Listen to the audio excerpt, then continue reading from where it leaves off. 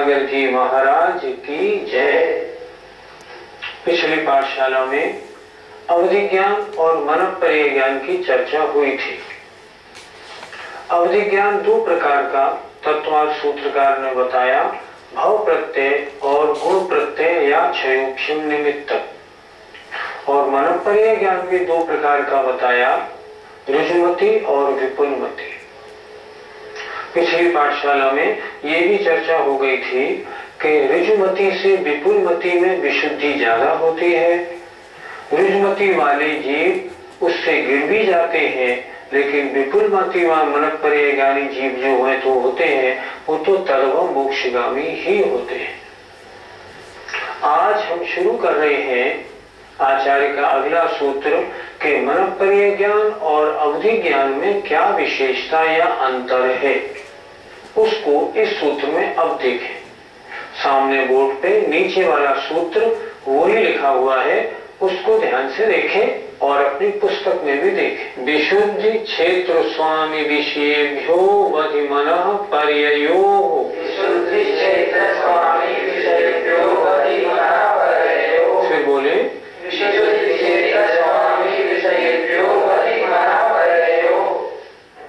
इस सूत्र में आचार्य ने अवधि ज्ञान और मन पर्य ज्ञान में विशेषता बताई है। अपेक्षाएँ चार ली हैं। सूत्र बड़ा स्पष्ट है। विशुद्धि, क्षेत्र, स्वामी और विषय की अपेक्षा। अवधि और मन पर्य ज्ञान में विशेषता है। सूत्र बहुत सरल है। सामने बोर्ड पे भी सूत्र लिखा है हमने, उसे भी देख सकते हैं। और आपके पास अपनी किताब भी है, उसमें भी देख ले। अवधि और मन ज्ञान में अंतर किस किस अपेक्षा से देखना है? विशुद्धि, क्षेत्र, स्वामी और विषय। क्या समझे विशुद्धि। अवधि ज्ञान से मन पर्य ज्ञान में विशुद्धि ज़्यादा है। क्षेत्र। अवधि ज्ञान का क्षेत्र बहुत है। मन ज्ञान का क्षेत्र मात्र 45 लाख योजन है। अवधि ज्ञान तो पूरे लोक को जानता है। उसका क्षेत्र बहुत विस्तृत है। स्वामी स्वामी अवधि ज्ञान के ज़्यादा हैं। अवधि ज्ञानी तो चारों गतियों में पाए जाते हैं। नार की भी त्रेंच भी, मनुष्य भी और देव भी। लेकिन जो मन ज्ञानी है, वे तो बहुत कम मनुष्य पर्याय में ही कुछ रिद्धिधारी मुनि महाराज होते हैं, उनको भी मन ज्ञान होता है। इसलिए अगर देखा जाए स्वामी की अपेक्षा अवधि ज्ञान के स्वामी बहुत हैं मन पर्याय ज्ञान के स्वामी बहुत कम। विषय। अवधि ज्ञान का विषय स्थूल है और मन ज्ञान का विषय बहुत सूक्ष्म है। अवधि ज्ञान जहाँ तक जानता है, उसके अनंत में भाग तक पर्याय ज्ञान जानता है। आचार्य ने इस सूत्र में अवधि ज्ञान और मन पर्याय ज्ञान में क्या अंतर है, इसको बहुत अच्छी तरह स्पष्ट किया है। चार अपेक्षाएँ लिए हैं। पहली अपेक्षा द्वारा देखें सूत्र को, विशुद्धि। विशुद्धि की अपेक्षा अवधि ज्ञान से मन पर्याय ज्ञान ज़्यादा विशुद्ध है। क्षेत्र अवधि ज्ञान का क्षेत्र ज़्यादा है मन पर्याय ज्ञान का क्षेत्र कम है। अवधि ज्ञान का क्षेत्र सारा लोक। मन पर्याय ज्ञान का क्षेत्र 45 लाख योजन प्रमाण। स्वामी, अवधि ज्ञान के ज़्यादा है, चारों गति में है जीव। मन पर्याय ज्ञान के स्वामी बहुत कम है। मात्र रिद्धिधारी मुनि महाराजों को ही मन पर्याय ज्ञान होता है, अन्य और किन्हीं को नहीं।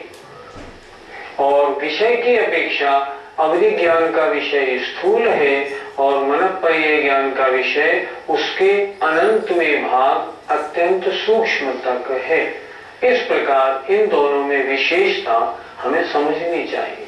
अवधि ज्ञान मन पर्याय ज्ञान की चर्चा हो गई।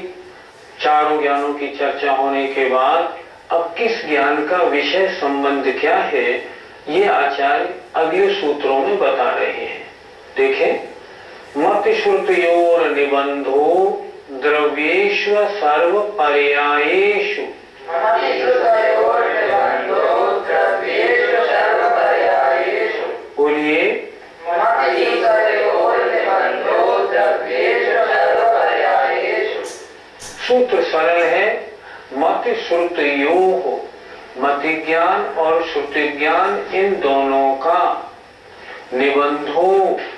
विषय संबंध द्रव्येशु समस्त द्रव्यों में है संधि विच्छेद है असर्व पर्यायेशु पर उनकी सभी पर्यायों में नहीं है।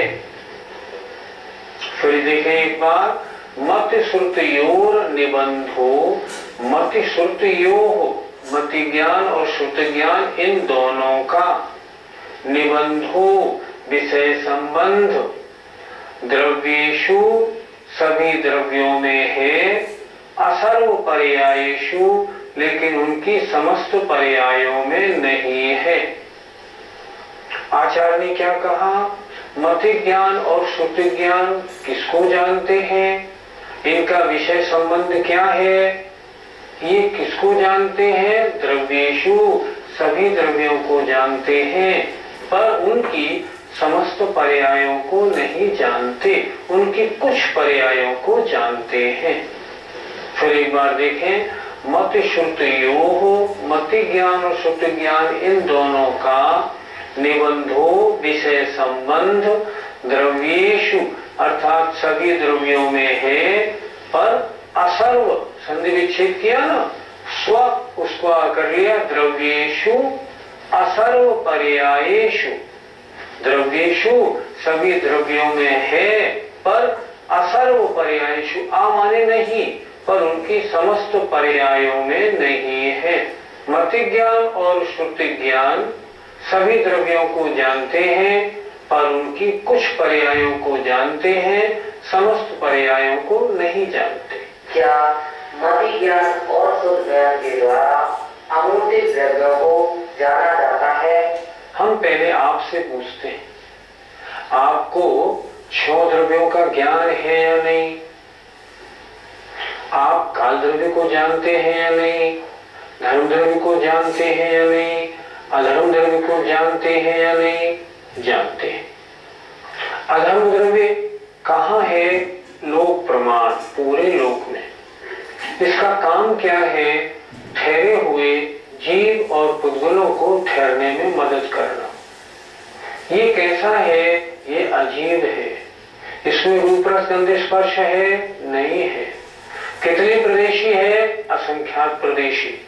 अरे, आपने अधर्म को कैसे जान लिया? हमने जाना कैसे? शास्त्र के आधार से। चाहे हमने देखा ना हो, पर शास्त्र के आधार से जाना शास्त्रों में जो लिखा है, सर्वज्ञ की वाणी है, इसलिए हमारा जानना बिल्कुल सही है। इसीलिए उमा स्वामी महाराज ने सूत्र बनाया कि मति ज्ञान और सुप्ति ज्ञान का विषय संबंध सभी द्रव्यों में तो है, अर्थात मति ज्ञान श्रुति ज्ञान छह द्रव्यों को जानते हैं, लेकिन उनकी समस्त पर्यायों को नहीं जानते। क्यों? कि उनकी पर्याय मति श्रुति ज्ञान का विषय नहीं है। मति ज्ञान और शुद्ध ज्ञान का विशेष संबंध कुछ कुछ पर्याय है। इससे हम क्या मैं अपने मति ज्ञान श्रुति ज्ञान के द्वारा आपको जान रहा हूँ। तो आपकी वर्तमान पर्याय को जान रहा हूँ या भूत और भविष्य सभी पर्यायों को जान रहा हूँ? सिर्फ़ आपकी अभी वर्तमान पर्याय को जान रहा हूँ। इसलिए मति ज्ञान और शुद्ध ज्ञान मात्र वर्तमान कुछ पर्यायों को जानते हैं। मैं इस पुस्तक को जान रहा हूँ, लेकिन ये पुस्तक पहले किस रूप में थी, आगे किस रूप में होगी, मुझे नहीं मालूम। क्यों? मति ज्ञान और शुद्ध ज्ञान का विषय संबंध बस कुछ पर्यायों में है, समस्त पर्यायों में नहीं। इसलिए तो आचार्य ने लिखा, असर्व पर्यायेशु मति ज्ञान और श्रुति ज्ञान का विषय संबंध ज्ञात हुआ। अवधि ज्ञान का विषय संबंध किन द्रव्यों और पदार्थों में है इसके लिए आचार्य अगला सूत्र लिखते हैं। रूपिश्व वधे बोलिए। संधि विच्छेद करें तो रूपेशु अवधे। अर्थात अवधि ज्ञान का विषय संबंध रूपेशु रूपी पदार्थों में है। पहले हमने आपको बताया था कि मति ज्ञान और सुत ज्ञान का विषय संबंध अरूपी पदार्थों में भी है, लेकिन अवधि ज्ञान का विषय संबंध अरूपी पदार्थों में नहीं है। इसलिए आचार्य सूत्र में लिखा रूपेशु अवधि। अवधि ज्ञान का विषय संबंध मात्र रूपी पदार्थों में है। अवधि ज्ञान का विषय संबंध रूपी पदार्थों में है, ये ज्ञात हुआ। अब मनोपरीय ज्ञान का विषय संबंध क्या है? इसके लिए आचार्य ने अगला सूत्र लिखा है। तदनंत भागे मन पर्ययस्य। भागे मनः बोलिए। संधि विच्छेद देखें। तत् अनंत भागे। तत् माने अवधि ज्ञान के द्वारा जो रूपी पदार्थ जाना जाता है, उसके अनंत भागे, अनंत में, भाग में मन पर्यय मन पर्यय ज्ञान का विषय संबंध है। अर्थात, अवधि ज्ञान रूपी पदार्थ को जानता है, लेकिन स्थूल को जानता है। और मन पर्यय ज्ञान उसके अनंत में, भाग तक जानता है। इसलिए आचार्य ने तत् लगाया शुरू में। तत् माने अवधि ज्ञान के द्वारा जाने गए पदार्थ के।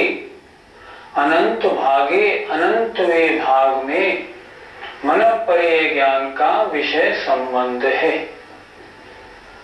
तात्पर्य क्या निकला? कि जहाँ तक अवधि ज्ञान जानता है, उसके अनंत में भाग में, अनंत में भाग तक मन पर्य ज्ञान विषय संबंध रखता है, अर्थात उसके अनंत में भाग को भी मन पर्य ज्ञान जानता है।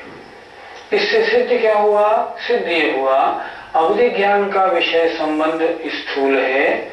मन पर्य ज्ञान का विषय संबंध, अवधि ज्ञान की अपेक्षा बहुत सूक्ष्म है। अवधि ज्ञान और महापर्य ज्ञान में सभी पदार्थ एक साथ लगते हैं, या फिर के लिए कोई प्रयत्न करना पड़ता है। वस्तु का अपने आप झलकना सिर्फ़ केवल ज्ञान में होता है। हमारे मति और शुद्ध ज्ञान है, पर हम जब लगाते हैं, तब वे ज्ञान लगते हैं। उसी तरह अवधि और मन पर्य ज्ञान, इनमें सारे पदार्थ झलकते नहीं।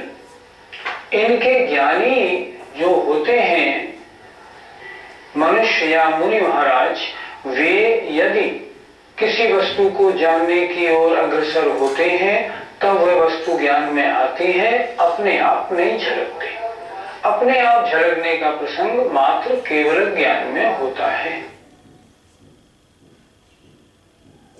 अब प्रसंग प्राप्त केवल ज्ञान का विषय संबंध कहा जाता है। सर्व द्रव्य पर्यायेषु केवलस्य केवलस्य। बोलिए। केवलस्य। बहुत से महानुभाव जब इस सूत्र को पढ़ते हैं तो पढ़ते हैं सर्वद्रव्य पर्यायेषु केवलस्य ये गलत हो गया। हमें ज़ोर देना है पर्याय ये ये पे शु पे नहीं। उच्चारण कैसे करेंगे? सर्वद्रव्य पर्यायेषु पर्यायेषु, शु छोटा है ना? पर्यायेषु केवलस्य। अर्थ क्या हुआ इसका? सर्वद्रव्य, समस्त द्रव्य और उनकी पर्यायों में केवल ज्ञान का विषय संबंध है। सर्वद्रव्य, ठीक है और उसकी सर्वद्रव्य कितने हैं? अनंतानंत। उनकी पर्याय भी कितनी है? अनंतानंत। तो अर्थ क्या निकलेगा? केवल ज्ञान केवल ज्ञान समस्त द्रव्यों को और उनकी अनंतानंत पर्यायों को जानता है। छराणाकार ने क्या लिखा? सकल द्रव्य के गुण अनंत, पर्याय अनंता। जाने एक ही काल प्रगट केवल भगवंता। समस्त द्रव्य और उनकी अनंतानंत पर्यायों को के लिए भगवान अपनी हाँ, आत्मा से एक साथ क्रम से नहीं एक साथ बिना क्रम के स्पष्ट जानते हैं। सूत्र का अर्थ क्या बनता है समस्त द्रव्य और उनके अनंतानंत पर्यायों में केवल ज्ञान का विषय संबंध है, अर्थात केवल ज्ञान समस्त द्रव्यों को जानता है। ऐसा कोई द्रव्य विश्व में नहीं, संसार में नहीं, तीनों लोक में नहीं, तीनों लोकों के बाहर भी नहीं, जो केवल ज्ञान के द्वारा न जाना जाए। और उनकी अनंत अनंत पर्याय केवल ज्ञान के द्वारा जानी जाती है। गुरु जी आपने बोला, अभी कि उनकी अनंत आनंद पर्याय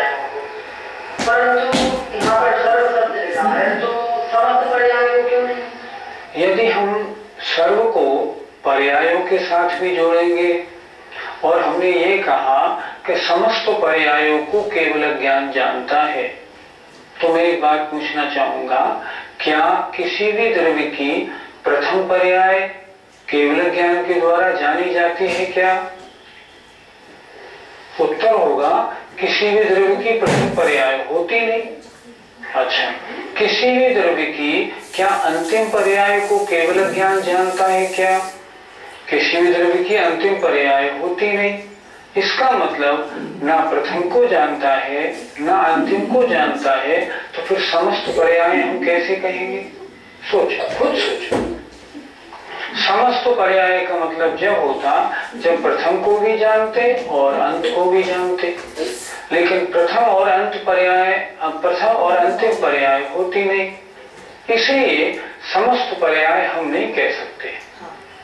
केवल ज्ञान का विषय संबंध और अच्छी तरह कहना हो तो हम बहुत स्पष्ट इस तरह कह सकते हैं, जरा ध्यान देना। केवल ज्ञान समस्त द्रव्यों की वर्तमान समस्त पर्यायों को और भूत और भविष्य काल की अनंतानंत पर्यायों को एक साथ जानता है। किसी भी द्रव्य की वर्तमान पर्याय केवल ज्ञान के द्वारा जानी जाएगी। लेकिन भूतकाल की पहली पर्याय है ही नहीं तो जानी कैसे जाएगी? इसलिए हमने कहा अनंतानंत। और भविष्य काल की अंतिम पर्याय होती नहीं। इसलिए अंतिम पर्याय न होने के कारण भविष्य काल की भी अनंतानंत पर्यायों को केवल ज्ञान जानता है। जानने वाला कौन है? जानने वाला है जीव, केवल ज्ञान नहीं। अर्थात जीव केवल ज्ञान के द्वारा समस्त द्रव्यों को और उनकी, समस्त द्रव्यों की और उनकी वर्तमान समस्त पर्यायों को और भूत और भविष्य काल की अनंतानंत पर्यायों को एक साथ जानता है। कोई जीव सिद्ध हो गया तो उसकी वो अंतिम पर्याय हो गई। तो केवल ज्ञान उसको जानता है या नहीं? आपका ये प्रश्न हमारी उस बात के ऊपर हुआ कि केवल ज्ञान किसी भी द्रव्य की अंतिम पर्याय को नहीं जानता। सोचे आप सोचे क्या सिद्ध पर्याय अंतिम पर्याय है? क्या सिद्ध पर्याय में अब परिणमन नहीं हो रहा। जीव अशुद्ध था, शुद्ध हो गया। पहले उसका परिणमन अशुद्ध था, अब शुद्ध है। परिणमन तो आज भी है। जितने सिद्ध भगवान हैं, वो शुद्ध जीव द्रव्य हैं। क्या उनमें उत्पाद व द्रव्य नहीं मानोगे? उनमें परिणमन नहीं माना जाएगा। शुद्ध द्रव्य में भी प्रति समय परिणमन होता है। और सिद्ध भगवान में भी प्रति समय परिणमन हो ही रहा है। इसलिए पर्याय बराबर हो रही है। जीव किसी भी अवस्था में हो, चाहे निगूढ़ अवस्था में, चाहे सिद्ध अवस्था में, परिणमन प्रति समय होगा और उसकी पर्याय नई नई नई नई बनती रहेंगी। किसी भी द्रव्य की अंतिम पर्याय आती होती ही नहीं। हमने किसी कागज़ को जला दिया, राख बना दिया, राख बन के पानी में डाल दिया तो क्या हमने उसका अस्तित्व नष्ट कर दिया? नहीं। एक भी द्रव्य का अस्तित्व नष्ट नहीं हो सकता। क्यों? सद्रव्य लक्षण, द्रव्य का लक्षण है सत्य सत्य माने एग्जिस्टेंस विज्ञान क्या कहता है? विज्ञान कहता है, कोई द्रव्य नष्ट नहीं किया जा सकता, उसकी पर्याय बदली जा सकती है। हमने कागज़ को जलाया तो राख बना दी तो राख उसकी पर्याय है। हमने पानी में डाल दिया पर्याय तो उसकी रहेगी नष्ट नहीं होगी। इसलिए सिद्ध भगवान में भी प्रति समय परिणमन और उसकी नई नई पर्याय बराबर हो रही हैं। सिद्ध भगवान तो परम शुद्ध हो गए। फिर उन्हें परिणाम किस रूप में माना जाए क्या शुद्ध द्रव्य में परिणमन नहीं होता? अगर ऐसा मानेंगे तो धर्म द्रव्य, अधर्म द्रव्य, काल द्रव्य और आकाश द्रव्य, ये तो हमेशा शुद्ध रहते हैं। इनमें तो कभी अशुद्धि आती नहीं। फिर इनमें उत्पाद व द्रव्य कैसे माना जाएगा? और द्रव्य किसे कहते हैं? जिसमें उत्पाद, व्यय और द्रव्य सदैव होता हो। तो ऐसा नहीं। प्रत्येक द्रव्य में एक अगुर लघु नाम का गुण होता है।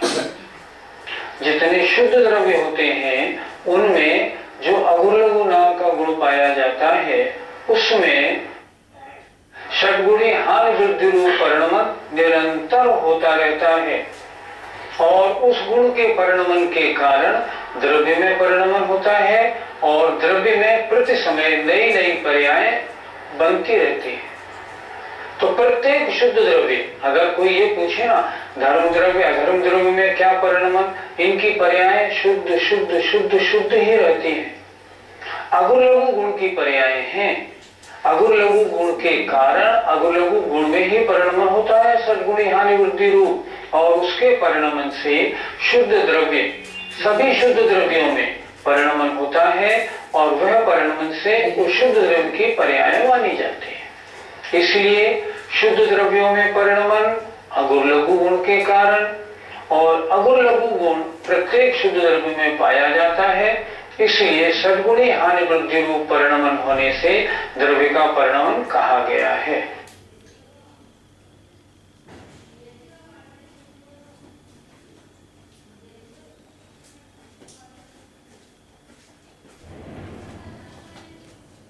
अब एक साथ एक जीव में कितने ज्ञान हो सकते हैं इसके लिए आचार्य लिखते हैं। एकादीन भाज्यानि युगपदे कस्मिन्ना चतुर्भ्यः।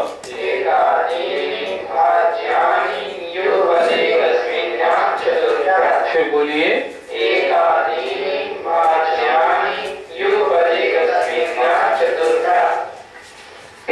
उच्चारण में हमें किस बात का ध्यान रखना? अक्सर लोग बोलते हैं, एकादीनी भाज्यानी ये गलत हो गया। इसमें नी बजाय छोटी के बड़ी की मात्रा हो गई। तो एकादीनी नहीं भाज्यानी नहीं। कैसे बोलेंगे? एकादीनी, दी पे ज़ोर लगाना है। एकादीन भाज्यान युगपदे कस्मिन्ना चतुर्भ्य। ठीक हो गया? उच्चारण में ध्यान रखिए। मैं खुद देखता हूँ, इस सूत्र को पढ़ने वाले बहुत अशुद्धि बोल लेते हैं। अशुद्धि ना हो। इस सूत्र को संधि विच्छेद से समझते हैं। एकादीन भाज्यानि युगपदे कस्मिन्ना चतुर्भ्य। इसका संधि विच्छेद हुआ एक आदीनी भाज्यानि। जरा इसको देखें अच्छी तरह से। युगपत एकस्मिन आ चतुर्भ्य। ध्यान से देखना। युगपत एकस्मिन आ चतुर्भ्य। अब इसका अर्थ देखें। एकादीन एक को आदि लेकर भाज्यानि विभाजन करने पर युगपत युगपत एक साथ, एक एक जीव के आ माने तक, चतुर्भ्य माने चार ज्ञान। अर्थात एक को आगे लेकर विभाजन करने पर एक साथ, एक जीव में चार ज्ञान तक हो सकते हैं। फिर एक बार देखें जरा, एक आदि, एक को आदि लेकर, अर्थात कम से कम एक ज्ञान, केवल ज्ञान। भाज्यानि विभाजन करने पर युगपत एक साथ एकस्मिन एक जीव में चतुर्भ्य चार ज्ञान तक होते हैं।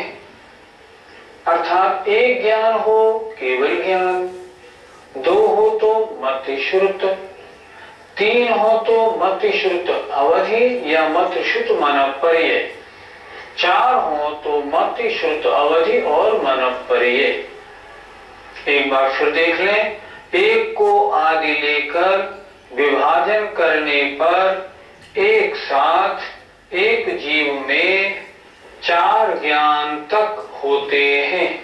सामान्य से प्रत्येक बारहवें स्थान तक के जीव में मति ज्ञान और शुद्ध ज्ञान तो पाए ही जाते हैं। जिनमें अवधि ज्ञान होता है, उनके मत शुद्ध अवधि तीन ज्ञान। जिनके मनपर्य ज्ञान होता है उनके मत शुद्ध और मनपर्य या मत शुद्ध अवधि और मनपर्य, ये चार ज्ञान। और जो केवल ज्ञानी अनंत भगवान होते हैं, उनके तो मात्र एक ज्ञान पाया जाता है, केवल ज्ञान। इसलिए कम से कम जीव में कितने ज्ञान? एक ज्ञान, केवल ज्ञान। अधिक से अधिक चार ज्ञान मत श्रुत अवधि और मनपर्य। पंडित जी केवल ज्ञान होने पर पाँचों ज्ञान शुद्ध ज्ञान अवधि ज्ञान और मन पर्य ज्ञान ये ज्ञानावरणी कर्म के क्षय उपशम से होते हैं। लेकिन जब ज्ञानावरणी कर्म का क्षय हो गया, तब ये चारों ज्ञानों का क्षय उपशम कैसे रहेगा? नहीं रह पाएगा। और जब ज्ञानावरणी कर्म का क्षय उपशम नहीं है तो फिर क्षय उपशम में ज्ञान भी कैसे रह सकते हैं? इसलिए जब ज्ञानावरणी कर्म के क्षय होने से केवल ज्ञान होता है तो उसके क्षयोक्षम से होने वाले ये चार ज्ञान स्वयं समाप्त हो जाते हैं। इसलिए केवल ज्ञान अकेला एकमात्र रहता है, उसके साथ चार ज्ञान उसमें समाहित नहीं होते। वे चार ज्ञान समाप्त हो जाते हैं, मात्र केवल ज्ञान ही अरहंत प्रविष्टि में पाया जाता है। इस प्रकार हमने आज समस्त ज्ञानों का विषय संबंध देखा। मति ज्ञान श्रुति ज्ञान का विषय संबंध सभी द्रव्यों में और उसकी कुछ पर्यायों में है। अवधि ज्ञान का विषय संबंध मात्र रूपी द्रव्यों में है। मनपर्य ज्ञान का विषय संबंध अवधि ज्ञान के अनंत विभाग तक है। समस्त द्रव्य और उनकी अनंतानंत पर्यायों में केवल ज्ञान का विषय संबंध है। और अंत में आचार्य का ये सूत्र भी हमने आज पढ़ लिया कि एक साथ एक जीव में अधिक से अधिक चार ज्ञान मतिशुद्ध अवधि मन या केवल ज्ञान अकेला हो सकता है। आज आपका समय हुआ। जय जय।